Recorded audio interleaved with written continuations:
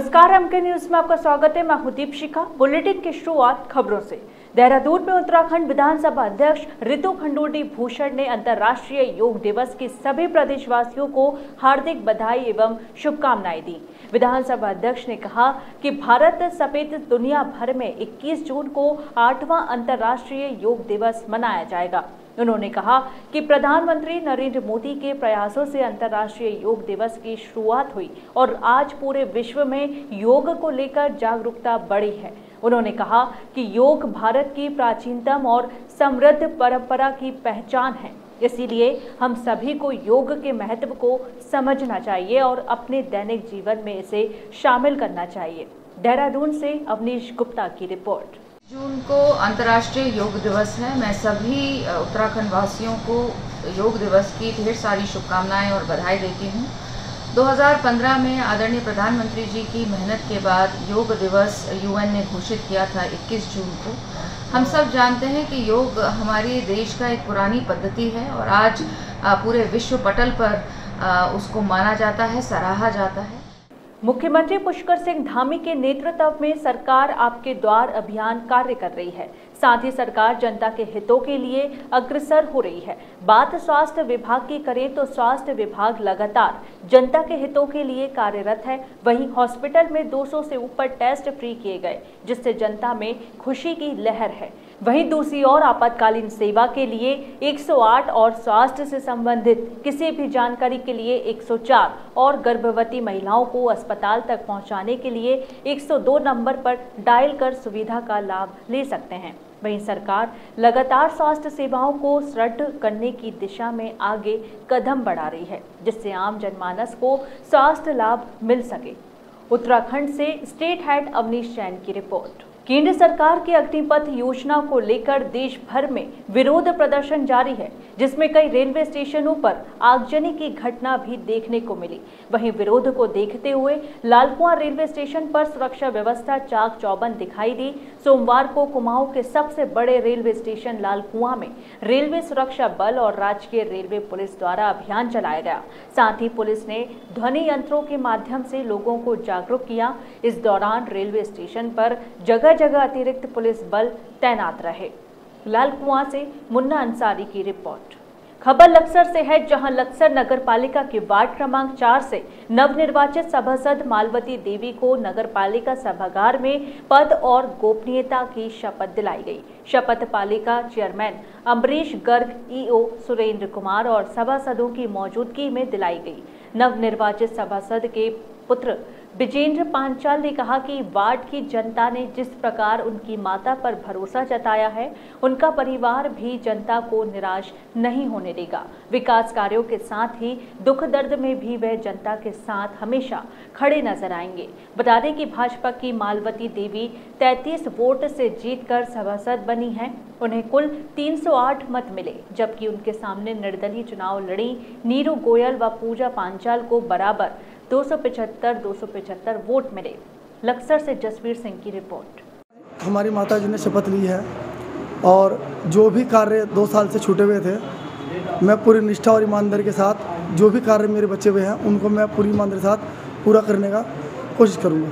आज जो हमारी वार्ड नंबर चार की मेंबर साहब चुन के आई है पहले तो मैं इनका स्वागत करता हूँ। और इनका सम्मान करता हूँ और मुझे पूर्ण विश्वास है कि हमारे नगर क्षेत्र के विकास के लिए पूर्ण सहयोग हमें देगी। कि आज मालवती जी को हमने शपथ दिलाई है इस नगर पालिका के प्रांगण में।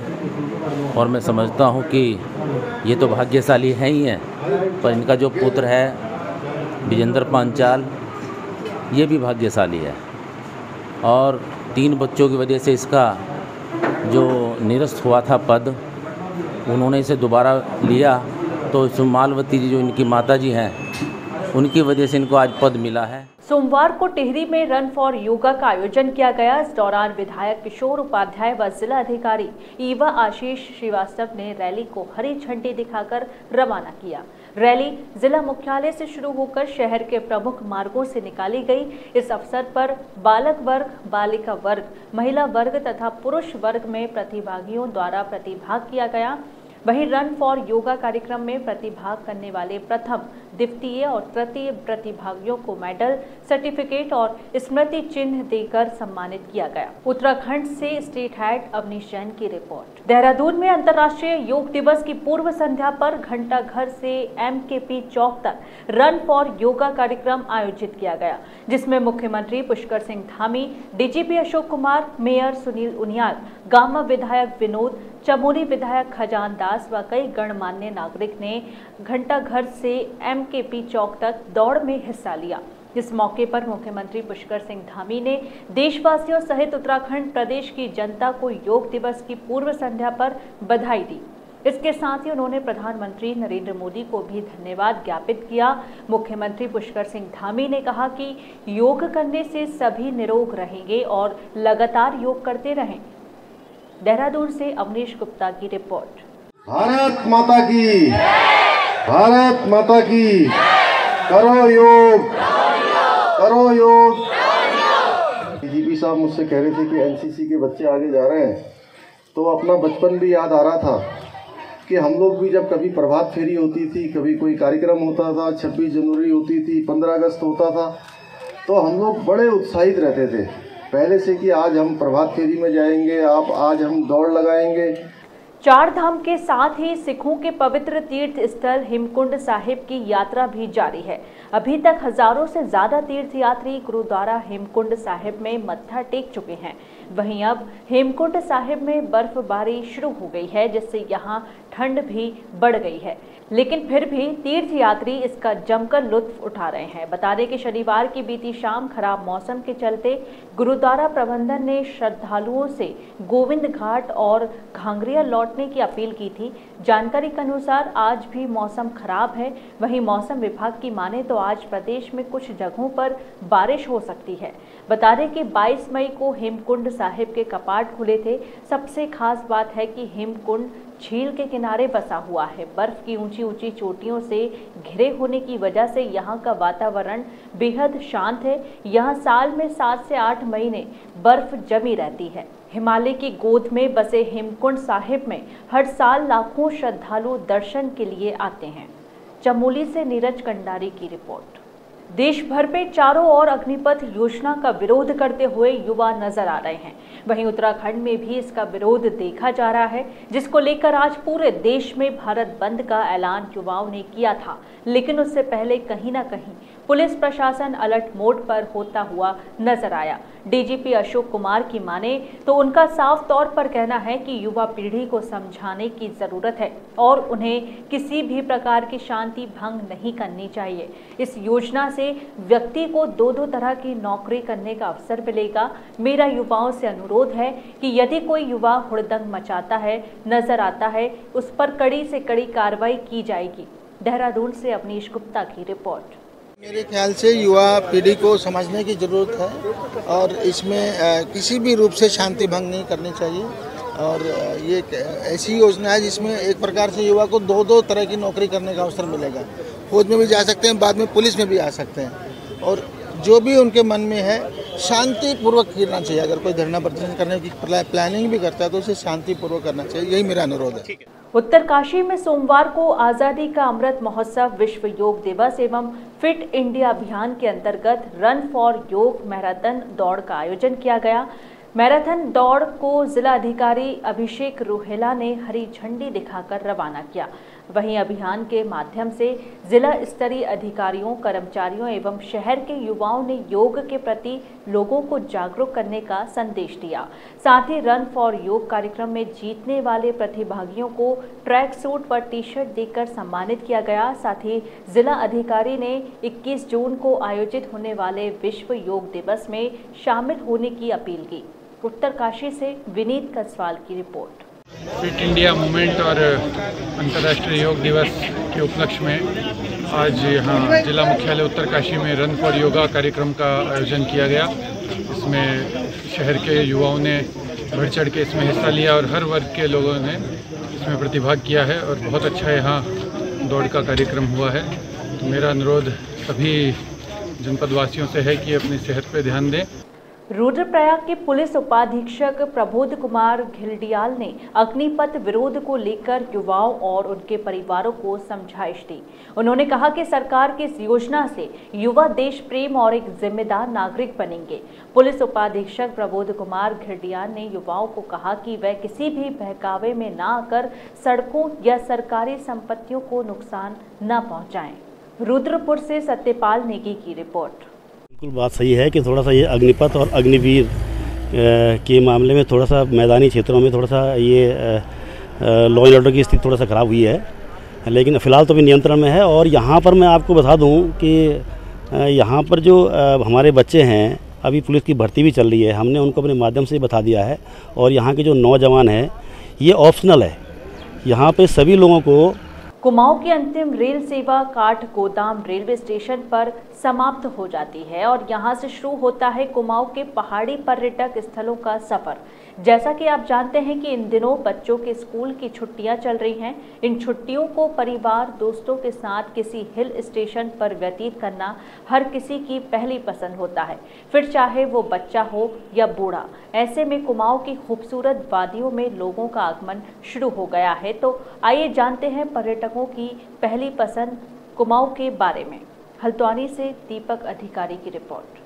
सब आजकल के बच्चे हाईटेक हो गए एक्चुअली जो है। सब यूट्यूब में ब्लॉग देख देख देख के समझते हैं कि हाँ हमको यहाँ पर जाना वहाँ पे जाना। तो बच्चों ने डिसाइड किया कि नहीं हमको यहाँ घूमना है। वो उसका झील तलीताल मल्लीताल का झील और कसानी भी जाना बिकॉज़ मुझे बच्चे के साथ फ़र्स्ट टाइम ट्रेवल करना था और यहाँ ट्रेन आती है तो मुझे बहुत कन्वीनियंट था। मैं गाड़ी से ट्रेवल नहीं कर सकती थी छोटे बच्चे के साथ। सिक्स मंथ्स और हम फ़र्स्ट टाइम बच्चे को लेके बाहर आए हैं। हल्द्वानी में Kumaon commissioner Deepak Rawat action mode में नज़र आए। कमिश्नर ने नजोल भूमि का निरीक्षण किया। निरीक्षण के दौरान उन्होंने अधिकारियों को ज़रूरी दिशा निर्देश भी दिए। बता दें कि नैनीताल के हल्द्वानी में बड़े पैमाने पर सरकारी नजोल भूमि खाली पड़ी है, जिस पर लंबे समय से भूमाफियाओं की कब्जे और अतिक्रमण की शिकायतें मिल रही हैं। इतना ही नहीं, कई जगहों पर अतिक्रमणकारियों ने स्थायी अतिक्रमण तक किया है। वहीं सरकारी विभागों की ज़मीन भी भूमाफियाओं से नहीं बच पाई हैं। ऐसे में अब मुख्यमंत्री के निर्देश पर प्रशासन ने सारी सरकारी भूमि को चिन्हित करना शुरू कर दिया है। इसी कड़ी में कुमाऊं कमिश्नर दीपक रावत ने रविवार को कई सरकारी नजूल भूमि का निरीक्षण किया। इस दौरान उन्होंने सिटी मजिस्ट्रेट, एसडीएम और मुख्य नगर आयुक्त को सरकारी भूमि को खुर्द बुर्द करने वाले लोगों के खिलाफ कार्रवाई करने के निर्देश दिए। एमके न्यूज़ की डेस्क रिपोर्ट। मुख्यमंत्री पुष्कर सिंह धामी ने रविवार को सेस्टर धारा रोड में दून डिफेंस ड्रीमर्स व नगर निगम देहरादून द्वारा स्वच्छता कार्यक्रम में हिस्सा लिया। ये कार्यक्रम क्लीन सिटी, ग्रीन सिटी, यही है मेरा ड्रीम सिटी। थीम पर आधारित रहा। इस दौरान उन्होंने छात्रों के साथ सड़क पर झाड़ू लगाकर स्वच्छता का संदेश दिया। सीएम ने कार्यक्रम को संबोधित कर कहा कि हमें दून को क्लीन सिटी ग्रीन सिटी बनाना है, क्योंकि आने वाले समय में इस शहर का महत्व और बढ़ने वाला है। उन्होंने कहा कि हमें ये सुनिश्चित करना होगा कि प्रकृति द्वारा दिए गए संसाधन एवं सुंदरता आने वाले भविष्य के लिए भी बचे। इसके लिए आज हमें स्वच्छता का संकल्प लेना है। उन्होंने कहा कि देहरादून शहर देश के प्रमुख शहरों में से एक है। इसकी स्वच्छता से हम पूरे देश में पर्यावरण के प्रति सकारात्मक संकेत दे सकते हैं। साथ ही सीएम ने युवाओं से विशेष तौर पर स्वच्छता जैसे कार्यक्रमों में ज़्यादा से ज़्यादा जुड़ने का आग्रह भी किया। एम के न्यूज़ की डेस्क रिपोर्ट। मेरे नौजवान भाइयों एवं बहनों, मैं सबसे पहले तो आप सबको बहुत बधाई देना चाहता हूँ कि आप सब लोगों ने क्लीन सिटी और ग्रीन सिटी के लिए आप लोग आगे आए हैं। और हमारे देश के प्रधानमंत्री मोदी जी ने देश के अंदर 2014 में प्रधानमंत्री बनने के बाद बहुत तेज़ी से जो सबसे पहले कार्यक्रम शुरू किए, उन कार्यक्रमों में एक कार्यक्रम है नियम विरुद्ध बने राशन कार्ड को सरेंडर करने के अभियान से पूर्ति विभाग को खासा फ़ायदा हो रहा है। बता दें कि पौड़ी जनपद में दो महीने के अंदर अब तक साढ़े ग्यारह हज़ार उपभोक्ताओं ने अपने राशन कार्ड राशन कार्ड विभाग में सरेंडर करवा दिए हैं, जिनसे लगभग छियालीस हज़ार यूनिट अब तक खत्म हो चुकी है। ऐसे में सरकारी राशन आवंटन की विभिन्न योजनाओं में छियालीस हज़ार व्यक्तियों को अब तक नियम विरुद्ध मिलते रहे राशन की बचत होने से विभाग भी उत्साहित है। पौड़ी से मुकेश बछेती की रिपोर्ट। तो योजना वाइज में मैं जैसे आपको बता रहा हूँ कि हमारे एस एफ़ वाई इसमें हम साढ़े सात किलो गेहूँ और चावल मिला के देते हैं। ये हमारे लगभग साढ़े तीन हज़ार कार्ड डिलीट हो गए हैं तो साढ़े तीन हज़ार इंटू साढ़े सात। ये हमारा रेगुलर में है। और फ्री में बात करें तो फ्री में भी हम पर यूनिट में पाँच के राशन दे रहे हैं। तो अट्ठाईस हज़ार यूनिट पी एच एच की हो गई और पाँच हज़ार छः सौ यूनिट अंत्योदय की हो गई। तो सत्ताईस, बत्तीस, लगभग तैंतीस हज़ार यूनिट जो हम निशुल्क वितरण कर रहे हैं, इतने की हमारे पास बचत हो गई है। कोटद्वार में विधानसभा अध्यक्ष ऋतु खंडूडी भूषण के प्रयासों से पदमपुर में कोटद्वार के क्षेत्रवासियों को स्वास्थ्य सेवा का लाभ पहुँचाने के लिए निशुल्क चिकित्सा जाँच, परामर्श व दवा वितरण शिविर का आयोजन किया गया।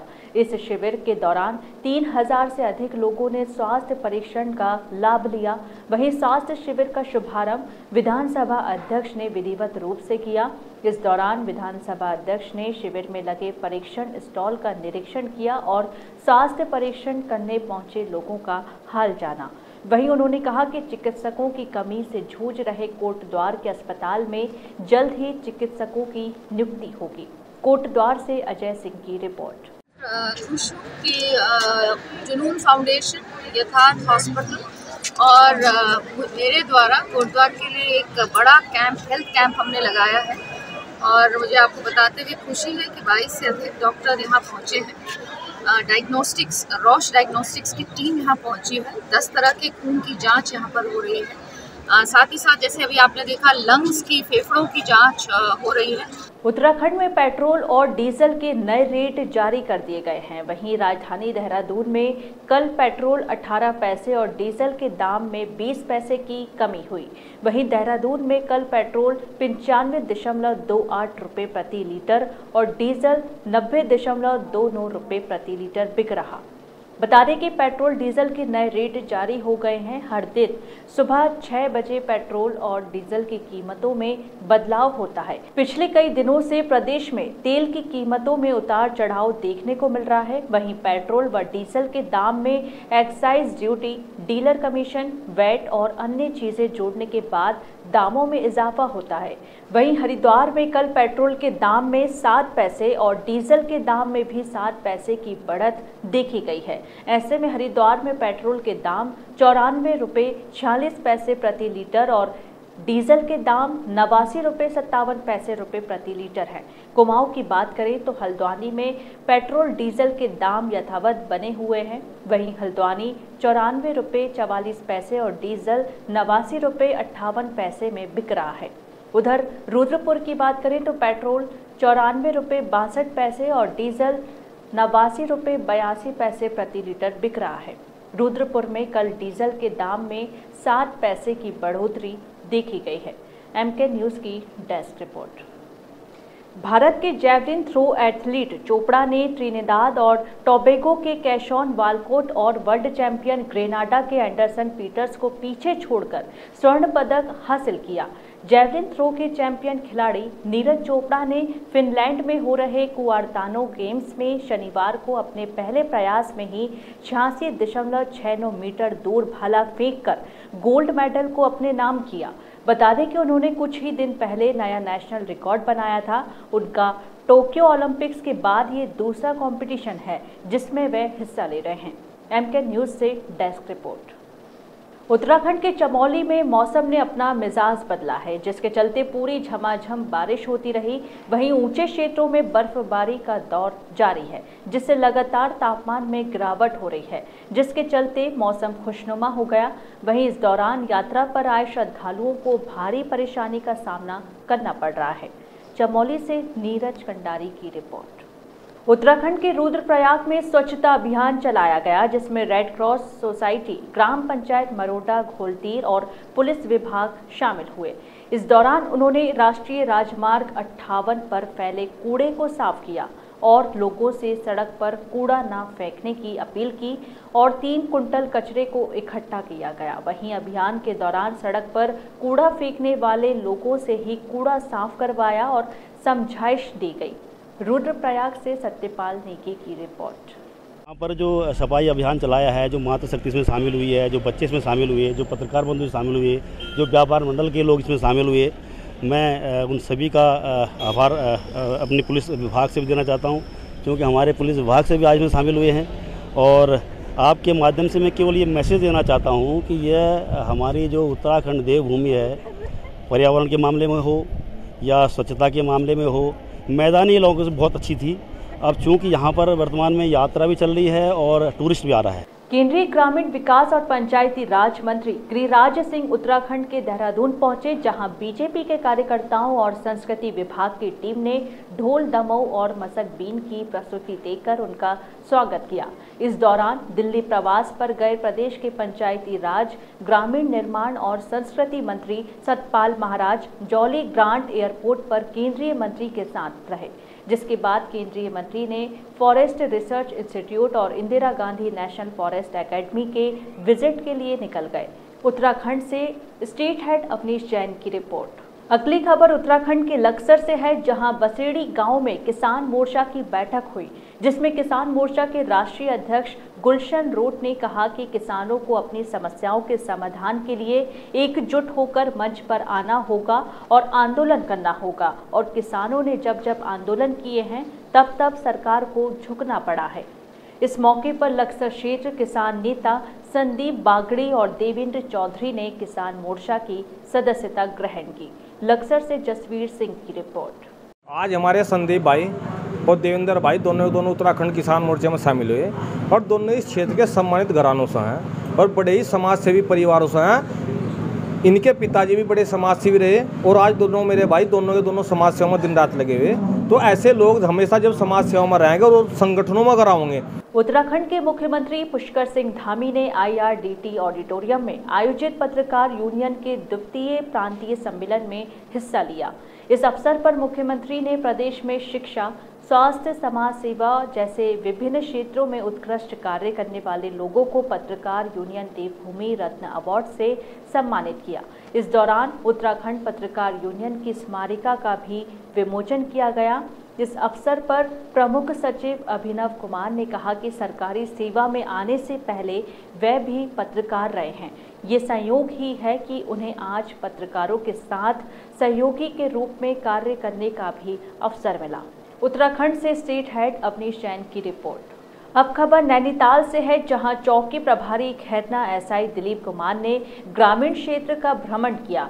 भ्रमण के दौरान एसआई ने उलगौर रूप सिंह धूरा के लोगों की समस्याएँ जानी और उन्हें जागरूक करते हुए यातायात नियमों का पालन करने के भी निर्देश दिए।